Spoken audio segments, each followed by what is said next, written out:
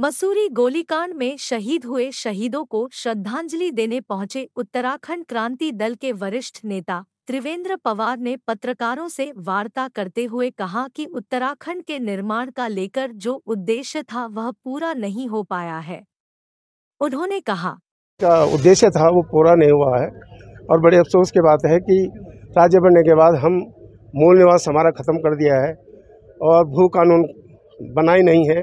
और जो बेरोजगार आंदोलन कर रहे हैं, उनको जेलों में ठूसा जा रहा है, उनकी लाठ, उनको लाठियाँ मारी जा रही है। ये राज्य किसके लिए बना है?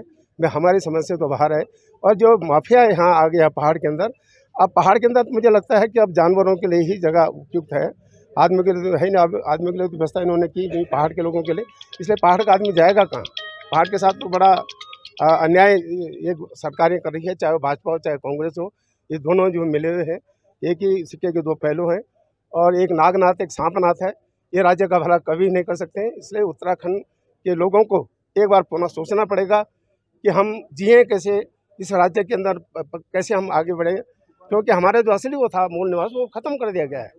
और जो 2000 के बाद यहाँ पचास लाख आबादी इस राज्य के अंदर हो गई है तो हम समझते हैं कि यह राज्य किधर जा रहा है। तो जब तक शहीदों का सपना पूरा नहीं होता है, तब तक उनकी आत्माएँ शांत नहीं होगी। इसलिए हमको उनके जो जो उनका सपना है, उनको साकार तभी होगा जब यहाँ के लोगों को पलायन खत्म होगा, यहाँ की जल जंगल ज़मीन पे यहाँ के लोगों का अधिकार होगा, तभी राज्य का भरा हो सकता अदरवाइज़ ये स्थिति ऐसी ये बात तो सही है कि उत्तराखंड क्रांति दल इसका ध्वज भाग था और उत्तराखंड क्रांति दल नहीं होता तो राज्य में नहीं होता। और ये नैतिक ज़िम्मेदारी उत्तराखंड क्रांति दल की भी है कि इस राज्य को कैसे बचाया जाए। और मैं समझता हूँ कि उत्तराखंड क्रांति दल ही इस राज्य को बचा सकता है, क्योंकि भाजपा और कांग्रेस की नीतियाँ, इस राज्य विरोधी नीतियाँ रही है।